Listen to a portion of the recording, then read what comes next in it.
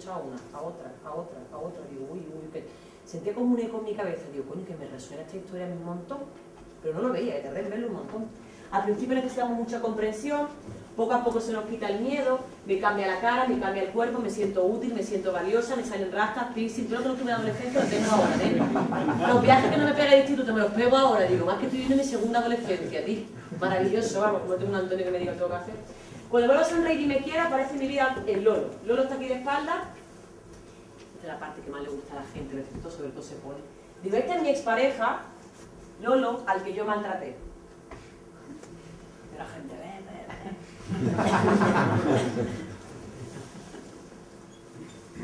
Vamos a explicar qué pasa con Lolo.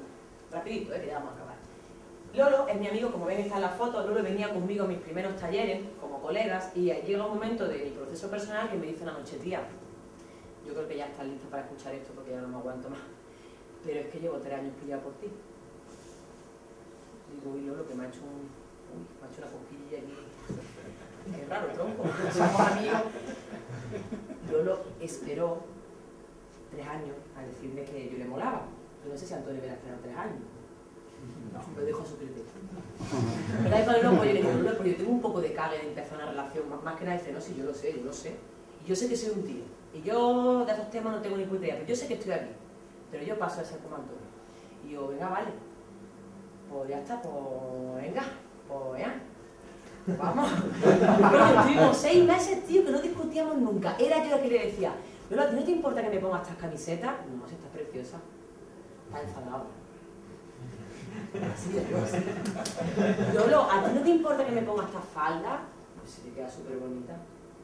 Lolo, estoy aquí con mis amigas, yo sé que hemos quedado a las 8, pero es que tengo una amiga que tiene un problemilla, que está un poquillo rayada. ¿A ti te importa? No me da explicaciones que yo no sé tu padre. Lolo, estás enfadado, ¿eh? Estás enfadado, estás enfadado. Espera, voy para allá diciendo, venga, cariño, quédate con tu amiga. Quiero que estás enfadado. Que estás enfadado, voy a buscarte, que no, que no, que no otra vez, eh, pasan seis meses, pasan un montón de cosas que yo le pregunto, si que le digo, ¿estás enfadado? No discutimos nunca, tío. Y yo empiezo como a sentirme raro, digo, este tío, este tío me está pegando. Este está con otra, porque sin discutir, sin nada, total, que cojo yo. Le digo, Lolo, ¿dónde estás, cariño? Ah, pues yo estoy con Juan, aquí en Lavapiés, sí. Estoy en Lavapiés, sí, con Juan, aquí va detrás mía, sí. Mentira, mentira. No te enfadas, ¿verdad? Amigo, ni horchata las venas, no tienes nada. No te enfadas, nada, nada. ¿Y sabes lo que me pasó, tío? Que como con Lolo nunca discutíamos, todo era maravilloso, estupendo. Y mami, yo me dice, lo que tú quieras, cariño. Lo que tú quieras. A mí lo que tú quieras ya también me... Lo que tú quieras. Lo que tú quieras. Me, se me despertó una cosa que me dejó Antonio. Antonio me dejó muchos traumas, que por cierto ya he superado, que lo que lo estáis viendo. En silencio no, en silencio yo me llevo mal y digo, mi chico, si cuando estás cabreado, vete a la casa. A mí no te quedes callado, vete tú, te das pero callado yo no puedo. ¿Sabes lo que me dejó Antonio? Un regalo, muy bueno. Me dejó una semilla que crecía en mí. Qué bueno esto del teatro, eh. es que es bueno el teatro porque te pone. Me dejó la esencia de Antoñita. Ya te digo, si sale Antoñita sale con los loros, claro. Ahora voy a decir todos que soy loro, claro.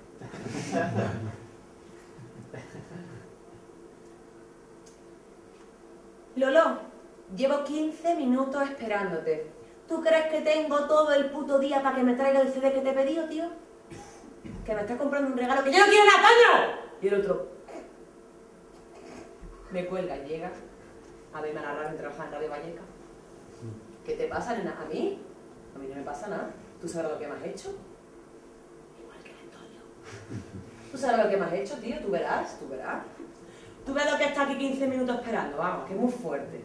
Y el otro, bueno, pues me voy, me voy mañana, nos vemos, porque yo encima te vas, ¿no? Uy. Encima te vas, ¿no? Y te vas y te ríes, ya te vale, te... Y el otro, bueno, me voy que aquí hay movida. me voy a ir tranquilamente, ¿sabes? Y yo, empieza a empujarlo, eres una mierda, eres un gilipollas, no vales para nada, le cojo el móvil, se lo tiro contra la pared. Al segundo show de estos complementarios no me dejó.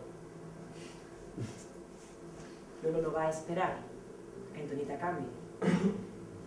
Lolo no ha ido a terapia porque se sentía un hombre maltratado. Lolo no ha tenido problemas otra vez para volver a tener pareja. Lolo hoy en día, uno de mis mejores amigos, de hecho ayer quedé con él, Antonio nunca va a poder quedar. No sé si ven la diferencia. ¿Verdad? Es más, Lolo, ¿sabes lo que me dijo ayer?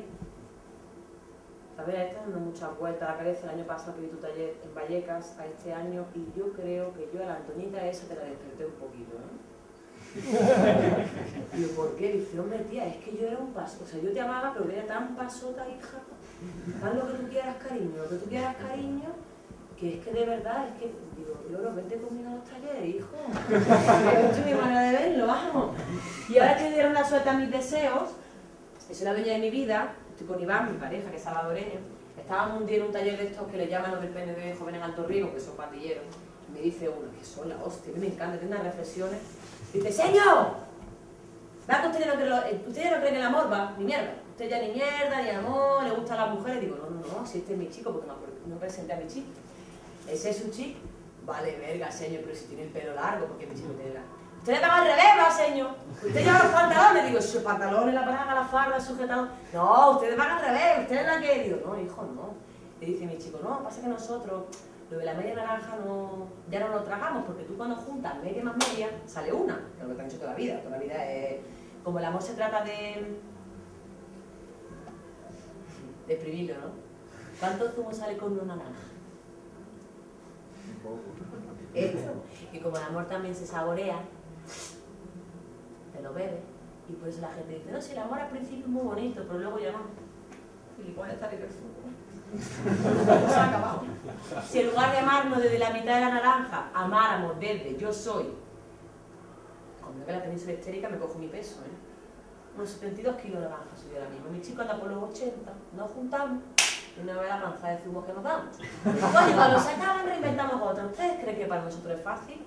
Para nada, porque no hay ni película, ni libro, ni que hablen de otro amor. Algunos libros hay, algunas cosillas, pero coño, ¿cómo salen los fantasmas? Eh? cómo salen los fantasmas míos de Pamela, de Antoñita, el otro con sus rollos ahí que se, se pone, que tía, veo por ahí a Antonio, veo a Lolo, luego veo a mi padrastro, veo la veo unas cosas, vemos unas cosas flipadas y tenemos todo que no sabe tan fantasma. A veces se los ponen enfrente, de y no veas cómo lo pasamos, ¿eh? Pero muy bonito, llevamos cuatro años juntos y es más, queremos hacer política con nuestro amor contando un poco al mundo que se puede tener otra relación, que no es, aunque no vean, ¿eh? porque a mi primo para bajar de ahí pues está costando si esta se echa después de comer. Si tú duerme, cariño, tú duerme, yo no puedo dormir. Pero duerme conmigo, digo, no puedo, no puedo. Nuestro primo es más, y yo, europea. Yo para, para, no puedo, no puedo. Mujer europea. ¿Le pega mucho la chapa, hijo? No.